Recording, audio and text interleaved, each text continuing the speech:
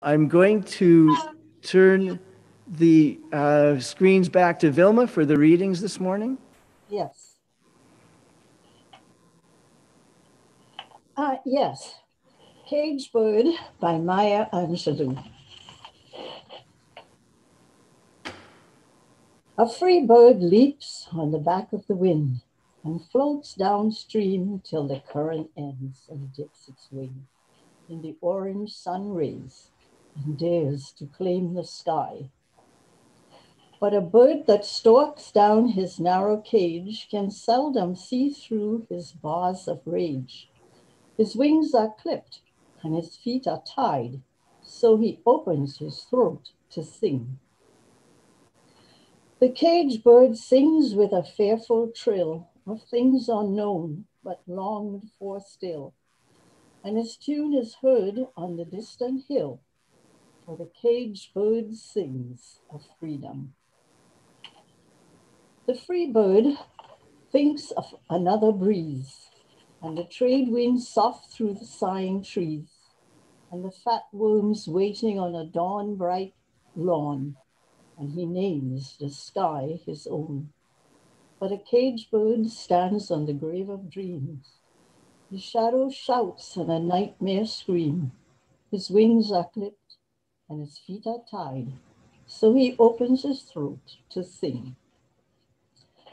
The caged bird sings with a fearful trill of things unknown but longed for still. And his tune is heard on the distant hill for the caged bird sings of freedom. The next reading is called To Be of Use, and it's a poem by Margie Piercy.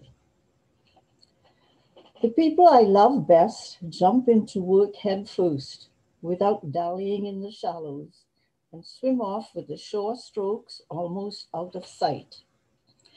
They seem to become natives of that element the black, sleek heads of seals, bouncing like half submerged balls.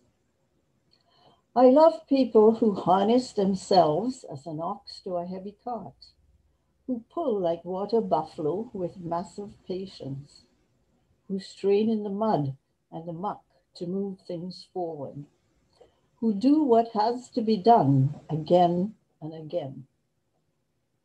I want to be with people who submerge in the task, go into the fields to harvest and work in a row and pass the bags along, who are not parlor generals and field deserters, but move in a common rhythm when the food must come in or the fire be put out. The work of the world is common as mud, botched, it smears and hands, crumbles to dust. But the thing worth doing well done has a shape that satisfies, clean and evident. Green amphoras for wine or oil. Hopi vases that held corn are put in museums, but you know, they were made to be used. The pitcher cries for water to carry and a person for work that is real. may we walk in its light. Offered us wisdom for the journey. May we walk in its light.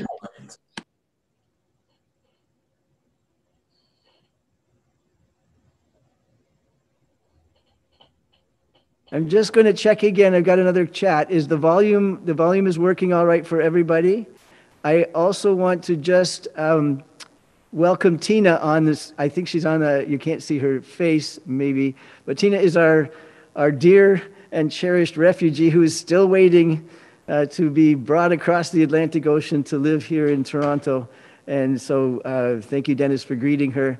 And Tina, we're with you. We, we love you. And there she is, there up in the sky. Wave. If we could all wave to our refugee, our, our, our own Tina there.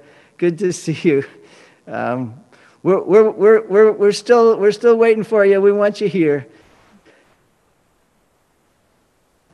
Uh, okay. Yeah, I'm coming soon. You're coming soon. Okay. Good to hear you. Thanks, thanks, Dennis, for um, alerting us. I didn't see the screen. Um, I, I'm super pleased to have a, a, not a guest speaker, uh, but a, a, part of us uh, speaking this morning for Women Rock, uh, Sarah. And, and uh, after Sarah speaks, we're going to um, we're going to toss our rocks in celebration of, of particular women. So uh, I'll ask Sarah now to, to uh, take center screen and share with us um, on, the, on the topic of women, but the topic beneath that of the overcoming of difficulties and expressing oneself uh, with, with honor, with respect, with joy. Uh, Sarah? Thank you so much. And I'm, I'm going to share my screen so that I can, uh, can share some images. So I'll, I will just start with that. Let's see. Here we go.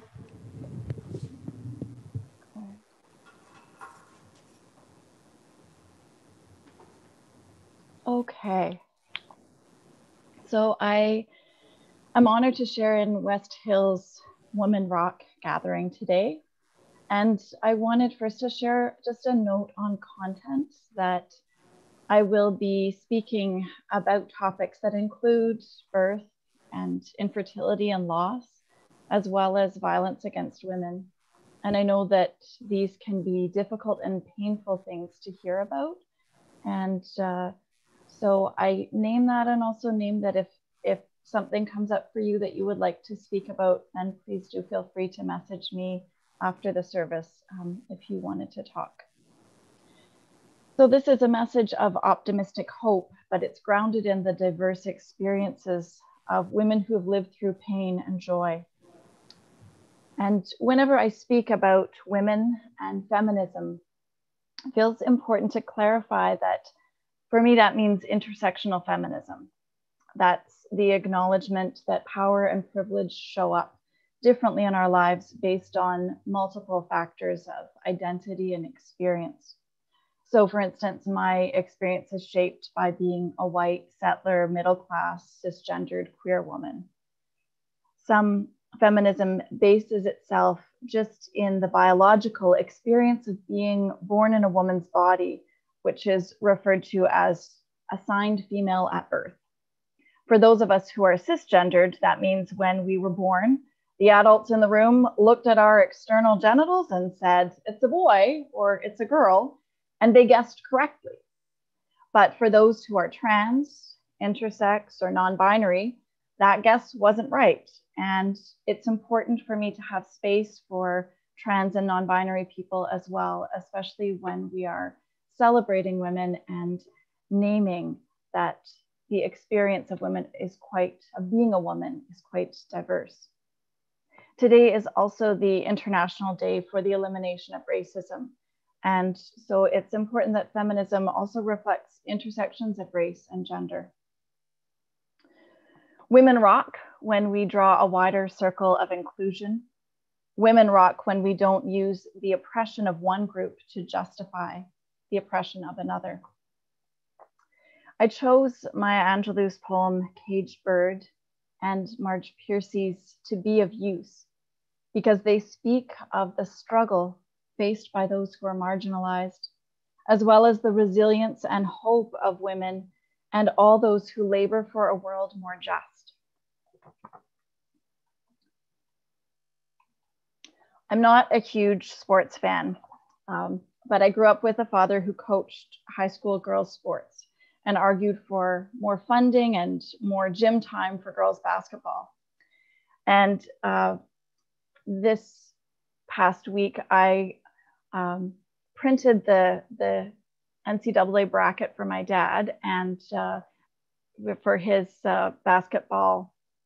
Um, I don't know what this is called, but when you for the basketball bracket for college basketball and i um, the internet being the way it is um, suddenly noticed showing up on my social media things about um, the contrast between the men's and women's weight rooms for college basketball teams. So you can see over here this one little individual weight rack this was um, the oregon women's weight room. Um, it's just one weight rack on the other side, we can see the men's weight room, which um, the whole team could be lifting weights at the same time. the women's team is at a clear disadvantage because I'm pretty sure that lifting weights helps you play basketball better. I'm not an expert, but I figured that was a good guess. So being aware of the big and small ways that privilege shows up in different arenas is an important piece of understanding and working for change. Here in Canada, one of the most prominent women in the Canadian military resigned this week, saying she's disgusted by ongoing reports of sexual misconduct in the armed forces and dismayed that it's taken so long for the, the problem to come to the forefront. This is Lieutenant Colonel Eleanor Taylor. She was the deputy commander of the 36th Brigade Group and is a distinguished veteran of combat in Afghanistan. She says, I'm sickened by ongoing investigations of sexual misconduct among our key leaders, but unfortunately, I'm not surprised. I'm also certain that the scope of the problem has yet to be fully exposed. Throughout my career, I have observed insidious and inappropriate use of power for sexual exploitation.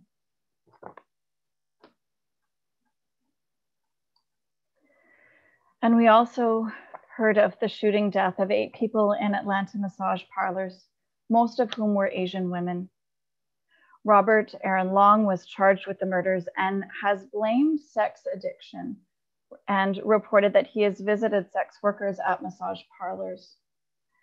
And as someone who works, um, among other things, as a sex therapist, I can say that sex addiction is not a diagnosis and certainly not an excuse for any such crime. This comes at a time when hate crimes and incidents of harassment against people of Asian descent are increasing.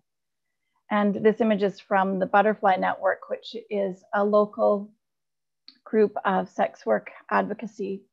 And they have a petition that um, I will share later in the chat that is demanding rights for migrant women employed in sex work here in Canada in the context of hate, violence, exclusion, and marginalization, we gather to celebrate the resilience of women.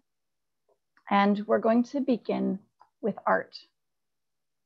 I have some paintings that I'd like to share with you.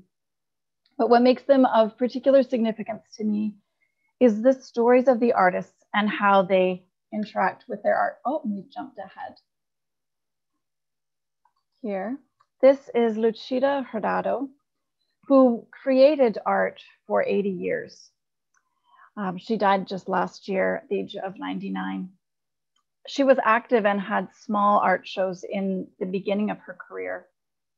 But her work may never have been widely exhibited if it hadn't been discovered by the person she hired to go through the archive of her husband's art. While he was sorting through the art of Lee Mullican, Hurtado's husband.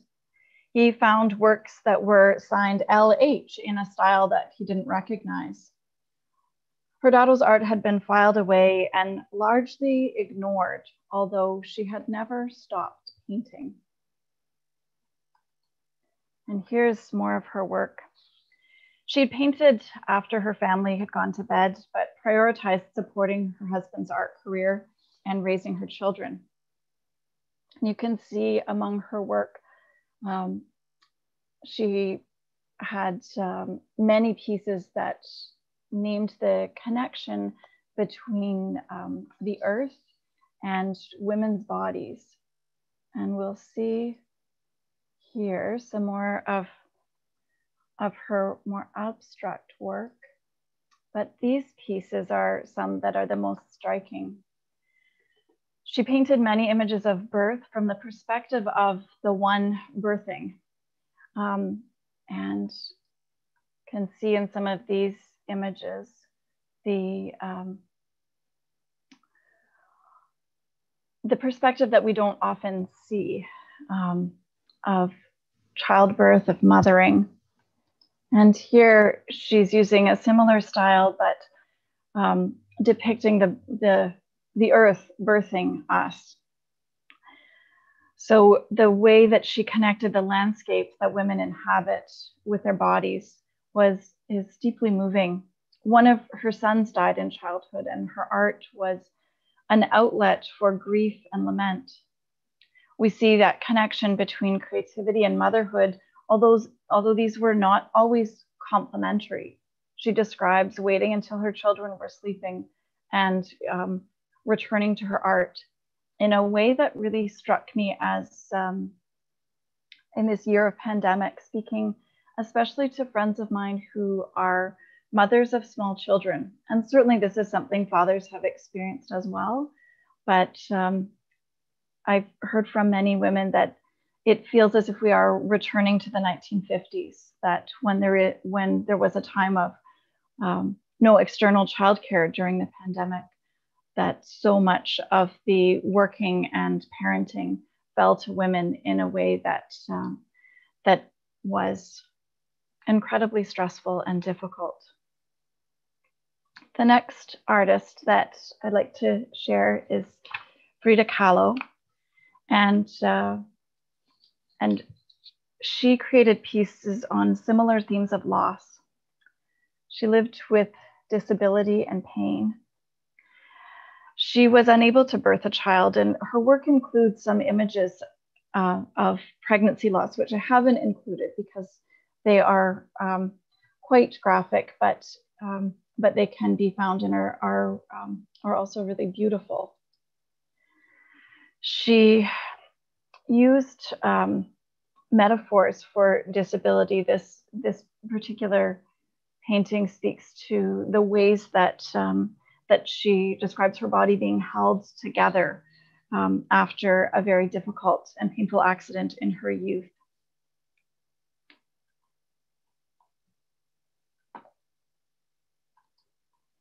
And she used, um, this is from the Frida Kahlo Museum in Mexico City that I visited in 2017.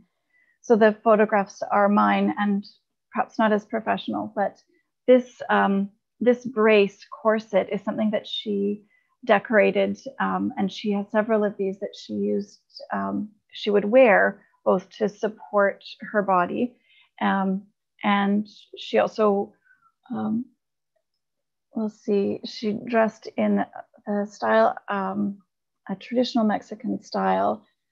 And this is, uh, this is an adapted boot that she wore um, to make her feet um, the same level for walking, but she had also, you can see how she's also painted this.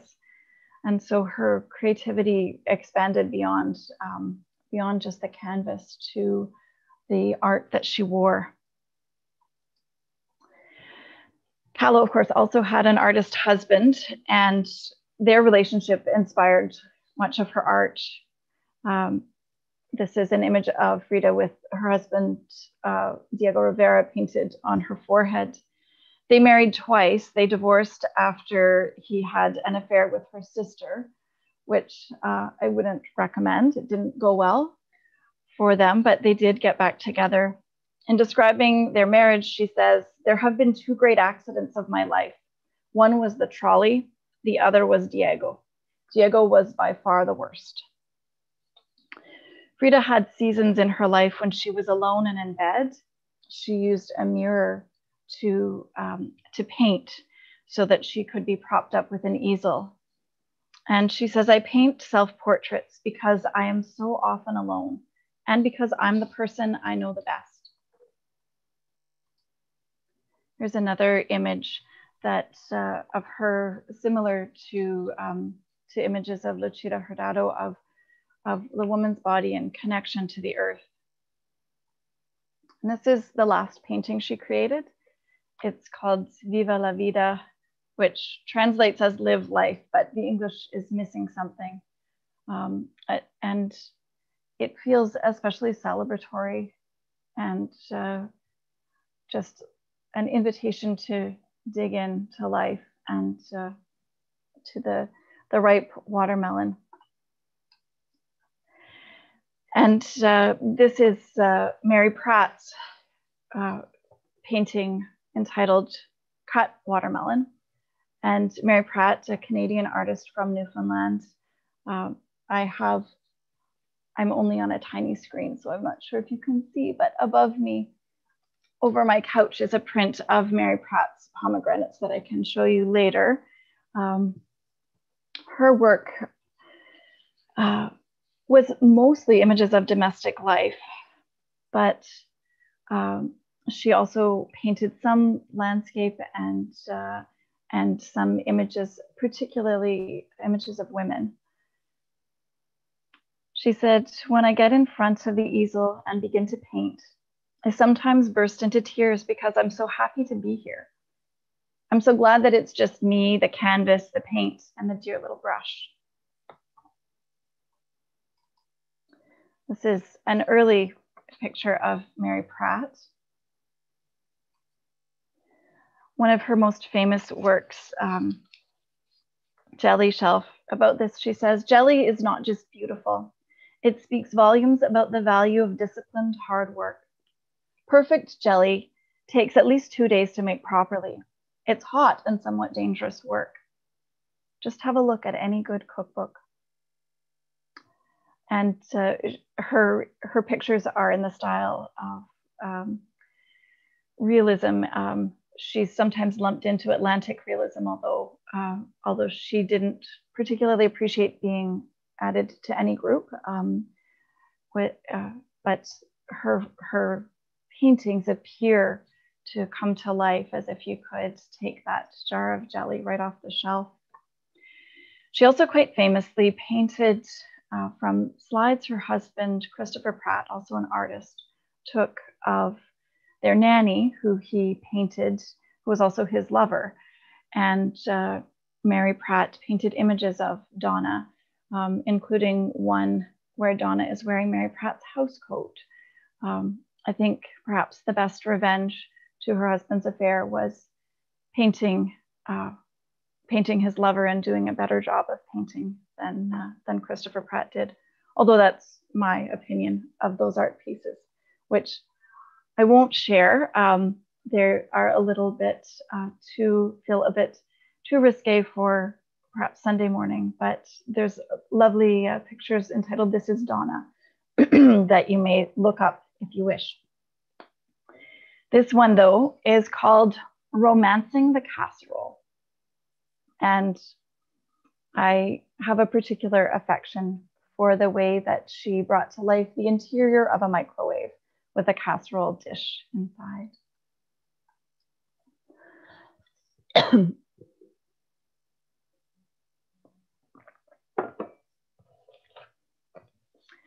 These three women were shaped by their context and by the limitations placed on their choices. And now we move to two women who work to change the context for girls today. Elena Favilli and Francesca Cavallo noticed that most children's books told the stories from the perspective of male heroes. In an interview they gave on Girl Boss website, they explained, we've always been very passionate about empowering women. On the children's media side, we've witnessed how it's so packed with gender stereotypes the kind of sexism that we experience in life is, re- is reflected in children's products that surround us, in clothes, in movies, and cartoons, and in books especially. We were shocked to see how few female characters come out every year. There are so few children's books that have strong female characters. You don't realize it until someone points it out. And then you say, wow, I've spent my childhood reading books and watching movies, great movies that I love, with male characters as leaders and female characters in subordinate positions where they need to be saved or rescued. The idea for this book was really coming from our personal lives, and at some point, our professional lives began to connect. So, their book, which is now a series of four, um, it's called Goodnight Stories for Rebel Girls. And they tell in each book 100 tales of women and girls who challenged stereotypes, stood up for their rights and the rights of their communities. My younger child, Denise, has read each of the stories multiple times. So I asked them who we should hear from today. So we begin with um, a few Middle Eastern women who find themselves stuck between a culture that oppresses them and a world that sees them as victims through the lens of Islamophobic hatred. So, first is this is Mona Eltahawy. She's the author of Headscarves and Hymens Why the Middle East Needs a Sexual Revolution. She had an excellent analysis of the position that she and many others find themselves in when naming harassment and other acts of oppression in Muslim societies. She says, as a feminist of Egyptian and Muslim descent, my life's work has been informed by the belief that religion and culture must never be used to justify the subjugation of women.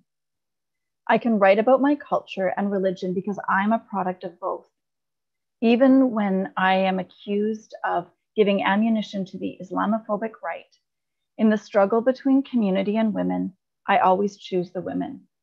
It is exhausting that Muslim women's voices and our bodies are reduced to proxy battlefields by demonizers and defenders of Muslim men. Neither side cares about women. They are only concerned with one another. And I love this photo. This is Manal Al Sharif. She's a Saudi Arabian woman who posted a video on YouTube of her protest against the law forbidding women to drive.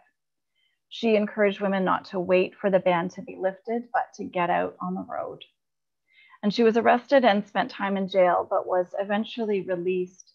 The law has now changed, and it's one of many laws that control Saudi women including requirements of male guardianship, that women need permission from a, a male guardian to go to work. She was marginalized, particularly herself, because she is a divorced single mother.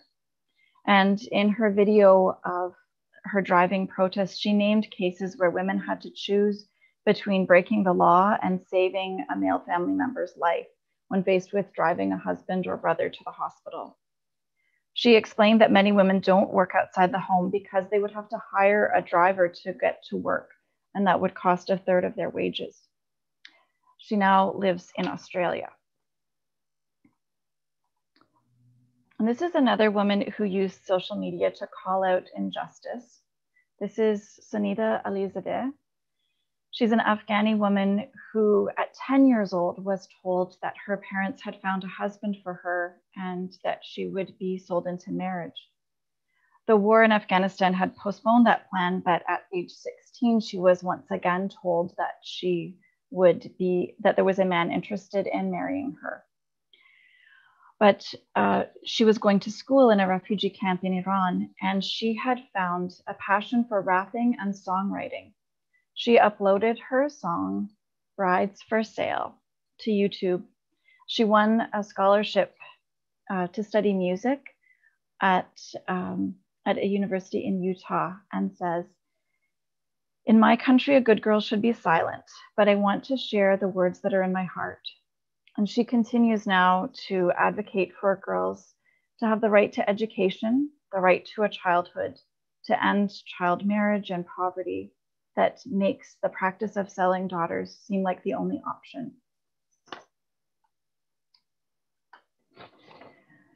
And our last rebel girl is Coy Mathis. She is a girl from rural Colorado. And she told her parents early on that she didn't feel at home being dressed as a boy and asked if there were doctors that could turn her into a girl. Coy's parents advocated for their trans daughter to use the girls' bathroom at school. And when that right was taken away, they filed a complaint accusing the school of violating the state's anti discrimination law. Coy has turned the world upside down in her community by advocating for herself and for other trans students all before the age of 10. She and other women and girls that we've heard about are continuing the work of a world transformed, doing the work of justice, justice and advocacy in their world. As the authors say in their introduction to Goodnight Stories for Rebel Girls, all we can feel is hope and enthusiasm for the world that we're building together. A world where gender will not define how big you can dream, how far you can go. A world where each of us will be able to say with confidence, I am free. May it be so with us.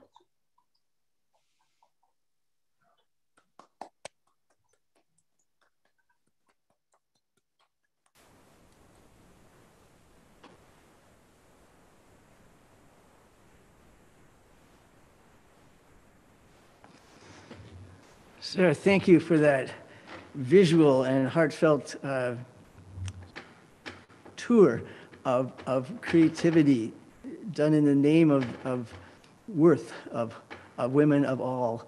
Um, we saw courage, we saw bravery, we saw talent, we saw creativity, we saw difficulty in all of that. So I thank you for that. And as a, as a response to it, I want to show you something. Just a second, I'm going to show you something.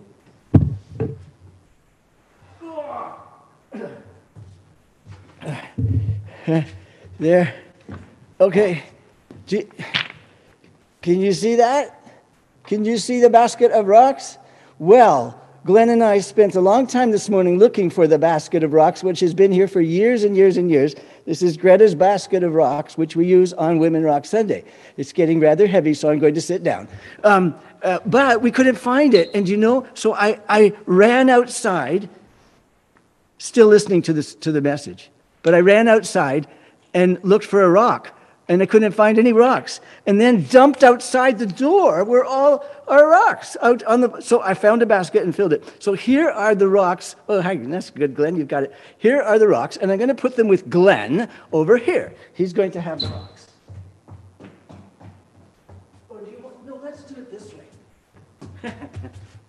it's really hard to plan. Um, for, for a space you can't remember during the week.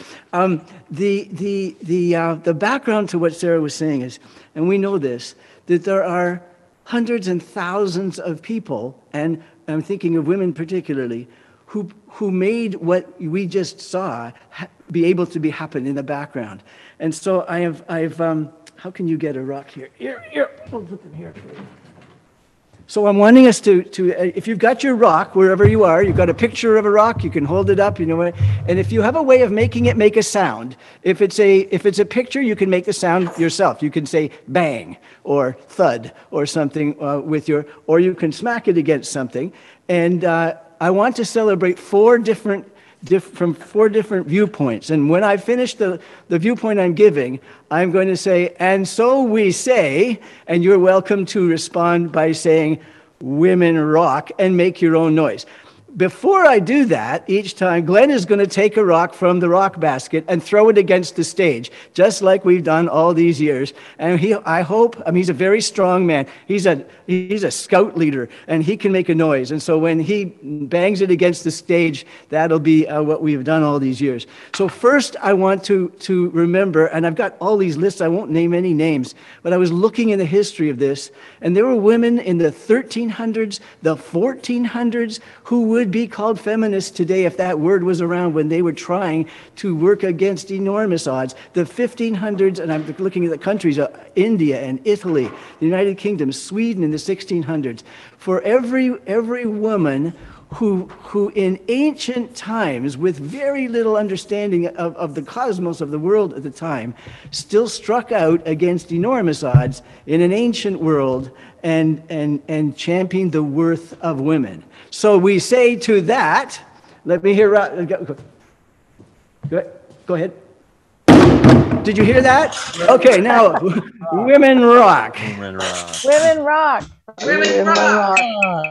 Next, I have a list, which I will not read, of over 50 suffragettes from Sweden, from Germany, from Australia, from Italy, from the United Kingdom, from New Zealand, from France, from uh, uh, the UK again, from uh, Norway, from all these countries who, who, who's, who thought, oddly enough, that women actually could might think differently than their spouse and have a, a, separate vote.